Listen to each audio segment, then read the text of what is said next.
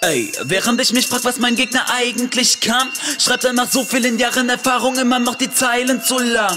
Ich hab ein Auge zugedrückt, da hast du leider recht. Doch mach ich ernst, schlag ich dich bis dahin, wo du deine Reime setzt. Ich bring die Leute zum Lachen und du sagst mir, ich bin nicht ernst genug. Guck mal, die lachen mit mir über dich, Zepter der Scherz bist du.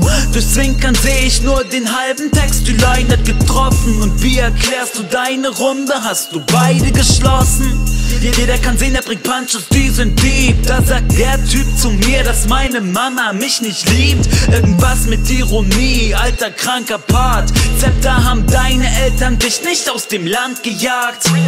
Du passt dich jedem an, siehst darin echt Qualität. Dann vergleichst du dich mit Ditto. Weird Flex, but okay.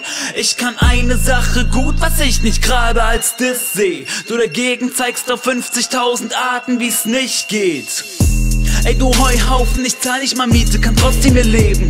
Einem, der klingt wie du, hätte ich sicherlich keine Wohnung gegeben. Was kommt da aus Zimmer 62? Das ist nur Jeff, der macht Adlibs. Jetzt so ne Scheiße, verdammt. Du hattest einen harten Diss und mich Brian fucking Diamond genannt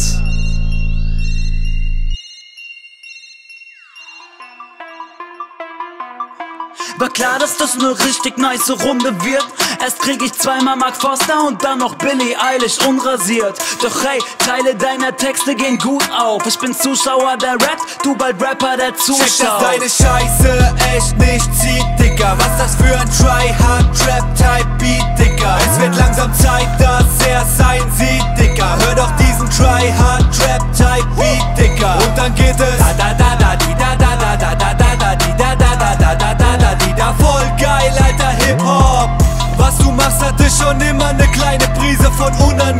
und dafür muss man sich schämen.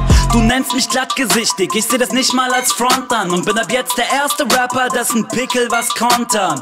Ausweis für ne Cola, weißt du, ja, das kann schon sein. Doch wenn die dich sehen, lassen die dich in den Laden gar nicht rein. Mein Song über Edeka hat keinen Sinn gemacht Weil man nur in Kontrollen kommt, wenn man sich Wodka in die Birne klatscht. Beim Radler muss man nicht blasen. Ey, was ne dämliche Strophe, frag vielleicht mal deine Mom. Manchmal bläst die auch ohne